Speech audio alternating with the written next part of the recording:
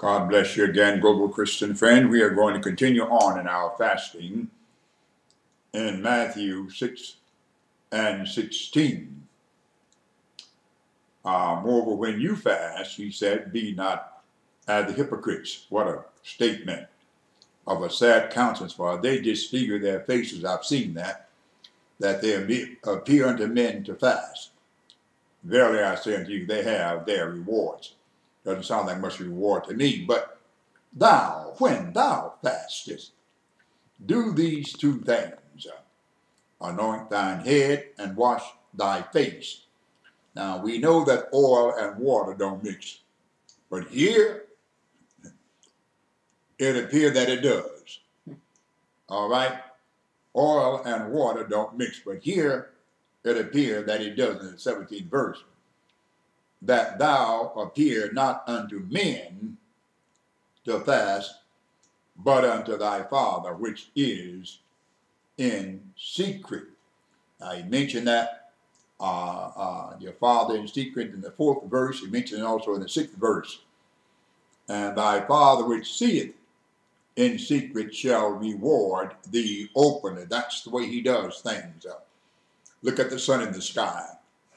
If you want to go up higher and see a higher understanding, uh, uh, resolution, look at the stars in the sky. Those are of the earth, look at the sun, and they understand the luminosity of the sun around them and showing the things that are of the world are beneath the stars. You want to see higher, go higher than the stars. And this is what Jesus uh, uh, introduced into the next verse. Uh, the 19th verse. And that is treasures in heaven. Not treasure, but treasures in heaven. You notice that? He said, Lay not up for yourselves uh, treasures upon earth, where moth and rust doth corrupt, and where thieves break through and steal. They do, you can't deny it. Uh, uh, uh, rust comes in and called, well, look at the structures around America, the bridges and the tunnels and the roads. And you'll see uh, the condition, the chemical condition that have taken place uh, on the infrastructure of America. And uh, you see that rust has uh, eaten away quite a bit. Uh, you, you, know, you, you know the story.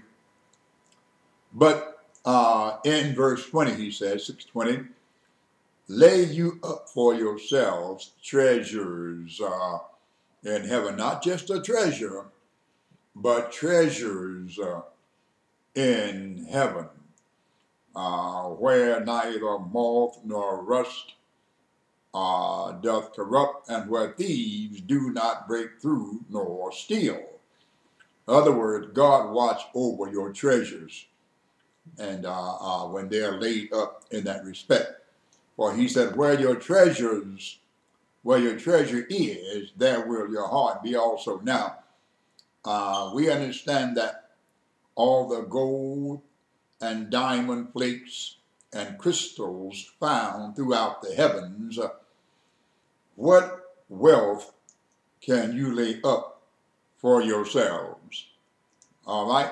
But he tells us how to do that uh, uh, in uh, Matthew 21, uh, uh, 19 and 21. And uh, you can read that Matthew 19 and 21, because there he says, I want you to turn there with us, and this is what you'll read. Uh, 21st verse. Uh, let me make sure we got it uh, right. Uh, Matthew 19, 21. This is what uh, it says. If thou wilt be perfect, Go and sell that thou hast, and give to the poor, and thou shalt have treasure in heaven, and come and follow me. Now, he tells you what to do to have treasure in heaven. Four things to do. Uh, first of all, be perfect. Then go. Uh, sell. Give. Come. And follow uh, these things. In other words, it just makes sense. Jesus wants you to be perfect so that you may perfectly follow him. It just makes sense in the world. And when you're perfect in this respect, you know how to perfectly lay up for yourselves uh, treasures in heaven, and God's going to watch over those treasures that you lay up in heaven because if they're valuable to you, they're valuable to Him. And if they're valuable to Him, they're valuable to you. And this is how He tells you uh, what to do. Be perfect. If thou will be perfect, do this do these four things, uh, and you're going to have treasure in heaven. Think about that. You being perfect with treasure in heaven. Think about that statement. You being perfect with treasure in heaven. And uh, uh, uh, uh, uh you, you know Isaiah 58 for the fasting. You know that already not what you assume to be the way that you fast, but uh, the fast that God Himself hath given unto us to fast through the prophet Isaiah chapter 58. And uh, uh, uh, treasure in heaven. Now, the next thing he uh, shows is the light. And understand this quite clearly in verse 22, 6, Matthew 22. Uh, you are the light of the world, but the light of the body is the eye. Think about that statement. You are the light of the world, but the light of the body is the eye. Now, pay attention. Uh, uh, if therefore thine eye be single, thy whole body shall be full of light. Now, it's wonderful to understand the body being full of light because we read about the fullness of God uh, in Ephesians 3.19 uh, and we read about the fullness of Christ in Ephesians chapter 4 verse 13.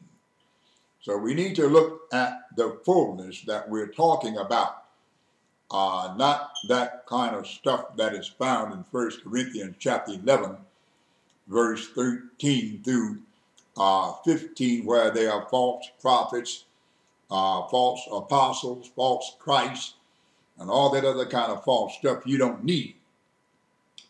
But in 22, the light of the body is the eye. And therefore, if thine eye be single, the whole body shall be full of light. Here's the conjunction. But if thine eye be evil, the whole body shall be full of darkness. And if the darkness uh, uh, uh, uh, be light that is in you, or be in thee, if it is darkness, how great is that darkness? You don't want to know. You don't want to know how great is that darkness because we understand from First John 1 and 5 that God is light, in him is no darkness at all and we will continue further on with our global Christian friends as we move forward. God bless you.